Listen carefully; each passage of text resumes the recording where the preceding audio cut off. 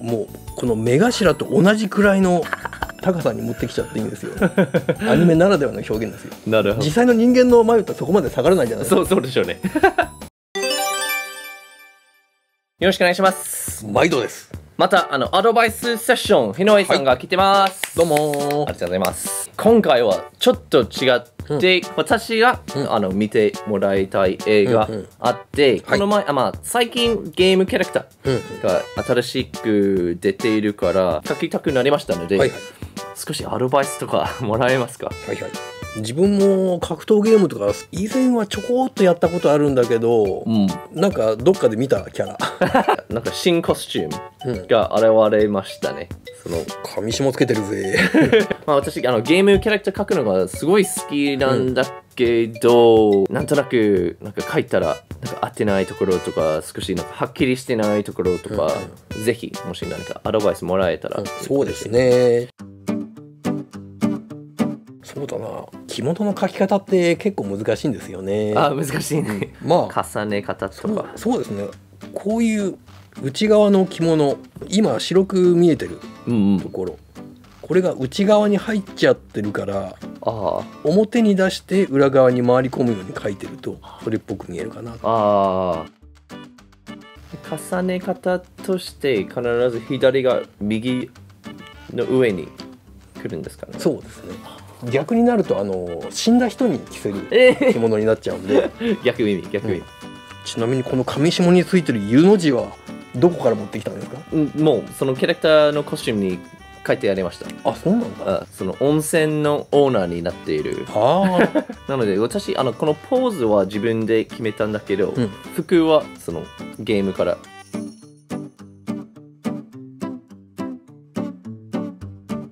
ああなるほど。首の後ろにちゃんと回ってるように見せたらよかったんだ。おおかっこいい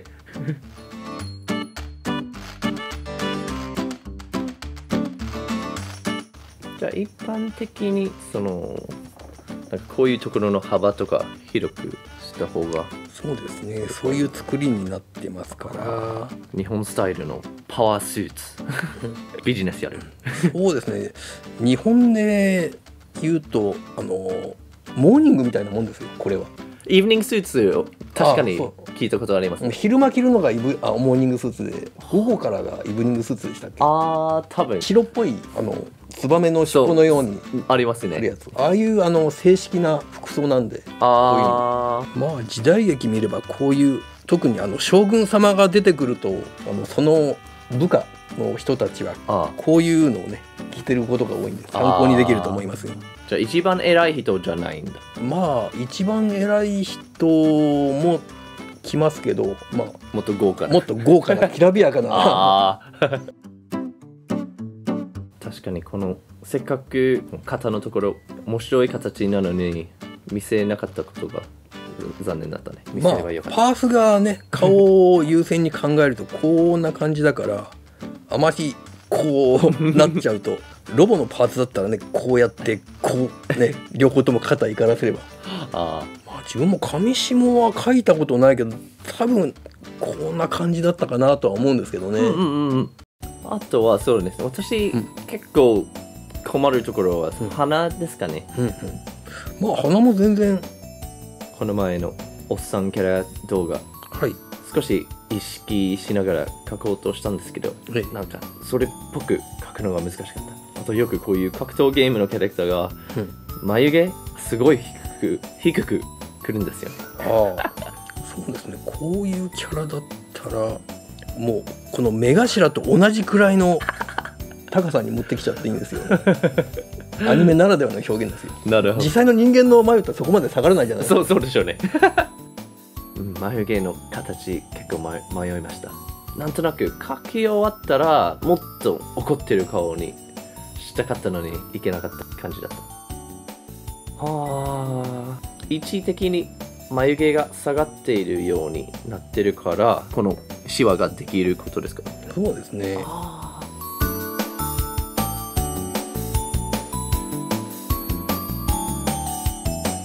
髪の生え際はだいたいまおお。あこんな感じ。額もっと広く。じゃあ私が描いたヘアラインよりもっと尖った線の方がうん、それっリアルぽく見えますそうですね。で浮世絵なんかをよく見てみるとこんなもんじゃないんですよ。本当に細い筆で一本一本生え際を描いてるんです。よ えー、よく見てみるといいです。えそれがあのこのサイズの本があるんですよ。江戸時代に作られた。それに細かく書いてあるんですよ。あれ人間技じゃないですねあと上上もな何かアドバイスありありますか？それちょちょんまげだっけ？あ相撲取りの場合大イチョウって言いますよね。大いちょう。あの言い方がある、違うんだ。ここのあの曲げの部分あるでしょ？はそれがあのイチョウの葉っぱのように開いてるから。ああイチョウの葉っぱ。こうなんでしょ？ー文化のレッスンになりました、うん。それを表現しようとしてるんだ。そうですね。あでまあ横綱になると腰に綱巻いてますよね。しめ縄。で回し。でもって。こんな感じで土俵入りするじゃないですか。横綱。あうん。ー、ありますね。この綱っていうのは雲を表してるんですよ。おそうなんだ。でこのギザギザした紙あるじゃないですか。はい。あれは雷を表してるんですよ。えそんな深い意味が入ってたんだ。へえまあ五穀豊穣って意味かな。作物がよく実りますようにってまあ頬骨をつけたいんだったらまあここら辺からかな。ああ、うん。もう少し高くだ。うん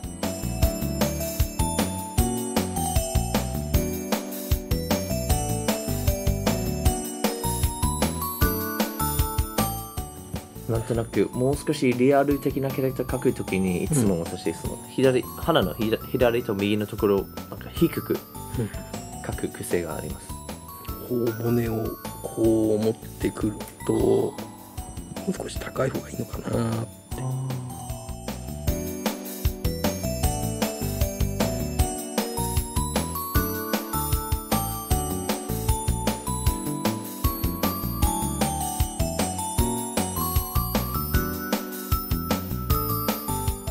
同じ高さに持ってくるとこれくらいになるのかなってこれがあのこうつながってますから筋肉的に。そうですね。まあ筋肉というかあの皮膚のたるみみたいなもんですよ。あでここの線がこう顎につながっていくんで。ああ難しかった。喉仏の位置を決めちゃって、うん、目はいい感じが出てるんでそれに合わせてこここら辺もちなみにこういう熊取りが赤いのは正義の味方の印で 青いのが悪役なんですよ。歌舞伎の、方では。そうだったんだそうだった、まあ人間の眉の生え方はなんこんな感じなんでうん。線を入れるとしたら。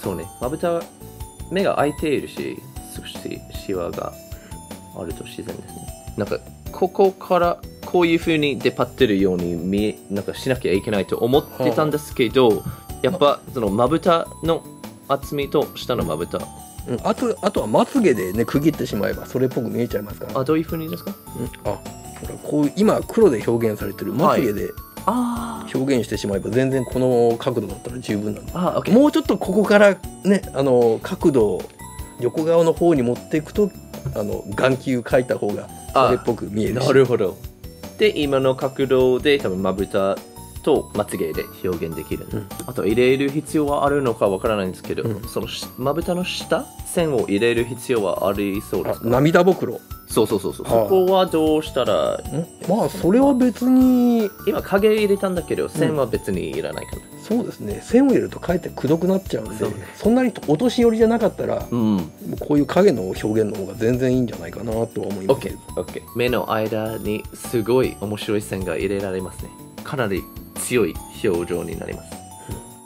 まあ整えるとこんな感じなんですかね。はい、ありがとうございます。このアドバイスシリーズに他の動画いっぱいあるので、ぜひ、プレイリストを見てください。あと、チャンネル登録お願いします。バイバイ。達者で服の後ろの回り方とか、あの、ほっぺの高さとか、あと、すごい、いつも思ってるけど、この辺がいっぱいディテール入れられますね、うん、こういう線はどんななんでできるんですか？ここは筋肉の盛り上がりですからねここの線がこういってでこうなってたりするんですよ。あ